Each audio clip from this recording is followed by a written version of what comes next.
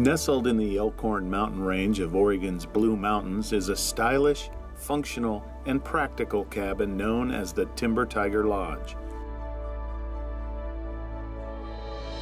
The tallest peak in the area is the 9,106 foot Rock Creek Butte.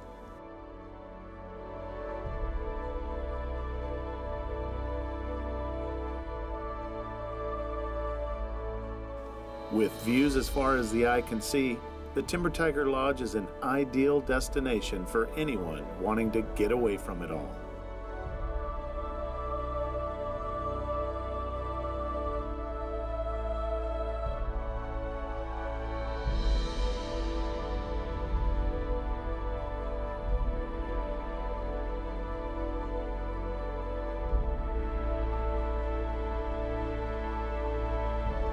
Stay tuned after the tour for an interview with lodge owner Tom Lager.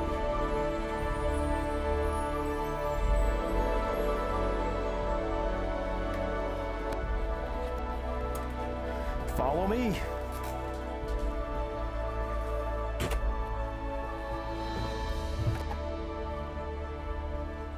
All right. Well, let's fire up the generator.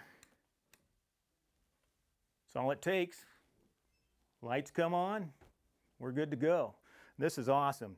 One push button fires all everything up.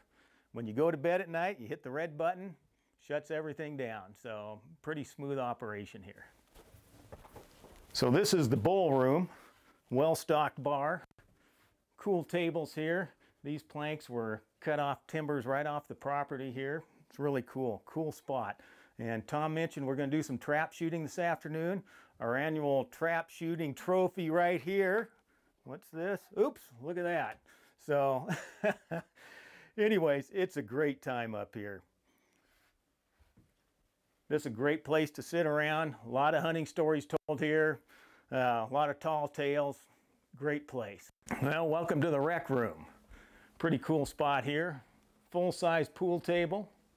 Another bar up here going into the kitchen.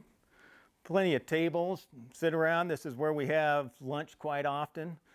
Down on this end is the media center. If you bring videos, you watch videos, stereo equipment, music. The whole place is wired for sound. Pretty cool. Sit out in the front porch and listen to music, have a beer. That's cool. And Tom's got lots of photos around here. He does a hunt of a lifetime, volunteers with kids to find their dream hunt.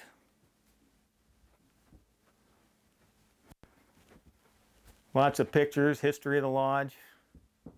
Great place. Okay, here we're in the living room with the, the wood stove that we use for heat here. Heats the place great. This is a three-story, 2,500 square foot lodge, and this atrium here it's got some pretty cool mounts up here and just, just really awesome work that Tom and his, his friends have done up here. All the stone on this fireplace is locally brought up from the local river down below. This is a kitchen, fully functional kitchen, refrigerator, freezer, sink, microwave, oven, coffee maker, loaded with utensils. So you just need to bring your food and that's it. Everything else you need is here. So every knob and cabinet door handle in this place is made out of deer horns from deer that they've harvested here locally. Pretty cool. Here's the bathroom, fully functional shower, toilet, sink, stocked with toilet paper and all the essentials. Good to go. Let's go upstairs and take a look at the bedrooms. Come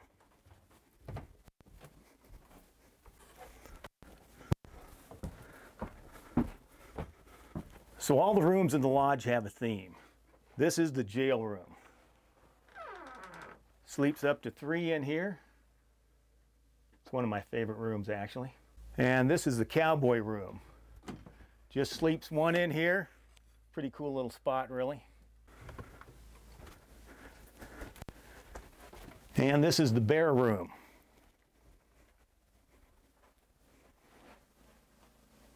queen size bed, comfortable bed too. This is where I stay when I come here.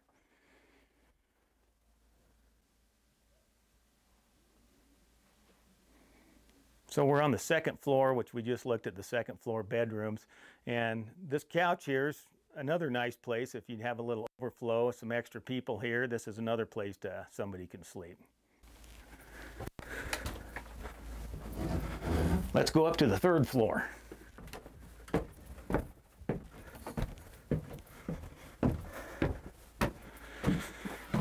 And here's the buffalo room.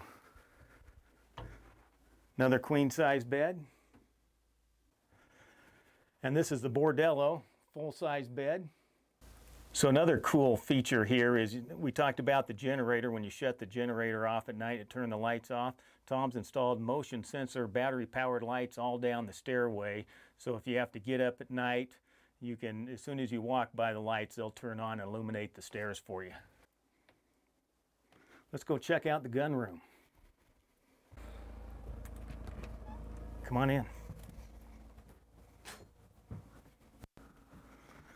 So here we've got another twin bed, fold out couch, beautiful view of the valley out of this room.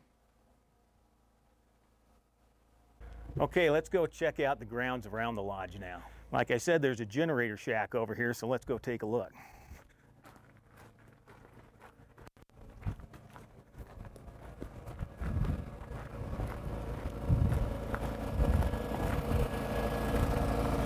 Hey, Annabelle. How you doing? Here's a generator shack. Keeps this place powered. Tom keeps it fueled up. It's really slick. This whole generator system works great. And I don't know if you can hear it. It's really pretty quiet. When you're inside the lodge, you can't even tell this thing's running except that the lights are on. Then we also talked about our trap shooting. This is where we do our trap shooting right here. Beautiful view while we're doing that. The fire pit.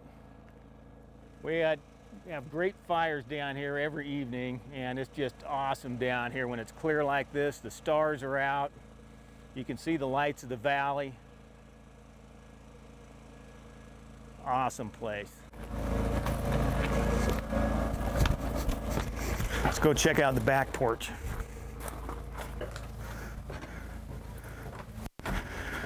Okay, so this is my favorite place first thing in the morning to come have my coffee. Sit down here, look out over this valley, the hillside over there.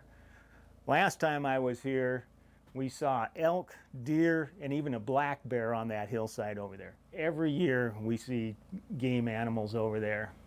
It's pretty cool.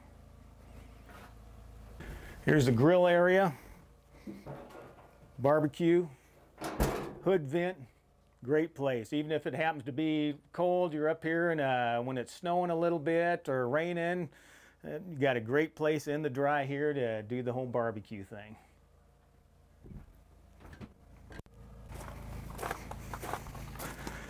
So down here, Tom's built a fish pond, nice big deck. Got a little storage shed down here. You can see where he keeps some of his old materials and it's a large extra parking area for extra vehicles down here so really supports everybody quite well. So this is a stage when Tom does his annual music event up here in August. This is where the bands play. We've got a dance floor downstairs, beautiful view out over the valley. Awesome. So from the My Backyard Boys, thanks for checking out the Timber Tiger Lodge with us. Hope we see you up here soon. Oh man, today, I mean, you can see, you can see all the way, man. Look at this. Holy smokes. It is just awesome. So tell me, Tom, what are we seeing out here? Well, if you, on, a, on a good clear day, the furthest range you see out there is the Seven Devils. So In, we're actually, in Idaho? You're, you're, you're, you're looking at Idaho here. So Wow. here you're in Oregon and you can reach right over and touch your neighbors.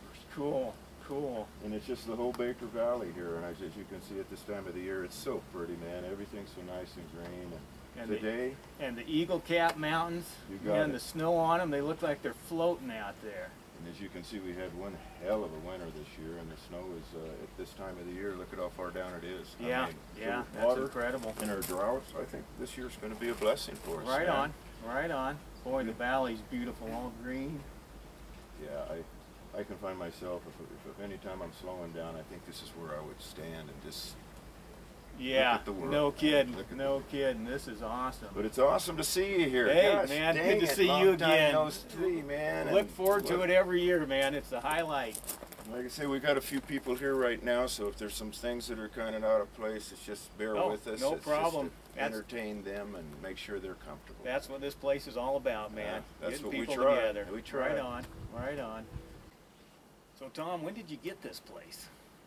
Well, you know, as you get older, your mind gets a little bit slippy. So Yeah. let me add up here. I think it was '94 when we first purchased it. Okay, right on. Uh, we've been working on it ever since, and I, I wish there was two of me at times that I had Sure. a twin to give me a hand because the, there's there is so much work. But I, I have to say, with all the friends and family that has helped over the years, it's made what this place is today. Wow, And I- that's awesome. I did, we just hope everybody enjoys what we've done because it's what we have made for what we, I guess, represent. Awesome. uh, Our way of life. And so, Sure. As you'll see as you're going through it in the past, you're seeing it. But there is changes and uh, we always like to have somebody say, wow, that's different Yeah. and new. But that's, Cool. that's what we're looking for, to catch your eye Cool, stuff. So cool. So, a lot of the materials in here you've got from right in the, in the, in the local area? From the place here and the 40 acres up the canyon, yeah, we've taken it down to the ranch down below and milled it and brought it back to the mountain. So we've salvaged what we've taken and tried to utilize it to the best, man. Awesome, So- awesome. And you've got all kinds of antiques and kind of curiosities in here, and those all came out of the local area also? From family and stuff and friends and yes, things that represent the area and what we're all about. Wow. Try to bring the past back to us and Right walk on. around and go, oh God, I remember this or I remember Sure, that." sure. It's just a lot of, if anybody's been to Knott's Berry Farm and, and that type of scenario, Right. what, what they do there, this is what we're trying to represent. The way the past was and have different things that set up looking like the old, but yet it's today. Yeah, yeah, that's awesome. Cool. Okay, Tom, so we're like at 5,400 feet here, so obviously you get a lot of snow up here in the wintertime. So what months are you operating up here?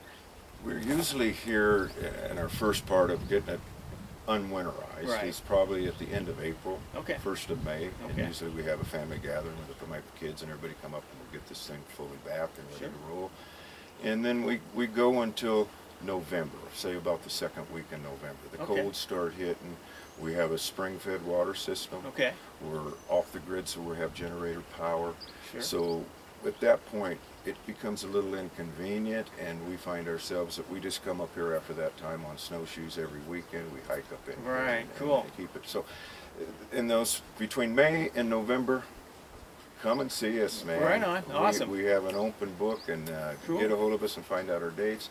We have certain programs that we have during the year, and a, a party that we have that we've been doing for 14 years, uh, a kind of a celebration of life that we bring a live band up here, and it, it's uh, we invite everybody from town, and uh, it's it's quite a time. Cool. And this year it's in in August, and, uh, and then we have our little group gathering like this weekend. You happen to be coming in. Sure. We have a family here up here on a memorial thing that come up here every year. We have a skeet shoot that we're going to do this afternoon, and it's just two things that are really pretty important to us. up Awesome. there. So Looking between that and seeing friends, man, I just look forward to every weekend. Cool, cool, That's cool. awesome. You do some weddings and things up here too, or? Weddings, receptions, and we can do. We can try to, to help you with anything or any type of gathering you got. If we, if we can do it, we'll, we'll go out of our way to make it happen for you. It's a great place, So a come great check family us out, place. man. Yeah, that's cool. That's cool. So, how many people can you um, support here? For I would say comfortably. Oh, I could say comfortably. Sure. Ten to twelve. okay, And, but we could make it for more. We've had as many as twenty. no kidding. And wow. it's just a matter of maybe throwing an extra sleeping bag down on the floor next to a bed if it's family members. But Right. we can make it work, man. If you've got that outdoor lifestyle and you want to be here, we could make it fun for you. awesome.